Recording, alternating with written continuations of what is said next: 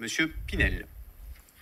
Oui, merci. Euh, je, suis content d'entendre la réponse d'Elisa Martin, mais elle m'inquiète terriblement euh, pour deux motifs. Euh, première chose, je rappelle que Alain Carignan, qui est ici, et, j'ai le compte rendu sous les yeux, au conseil municipal du 20 avril avait déposé un amendement pour travailler sur le sujet, justement sur le rattrapage scolaire au regard du confinement.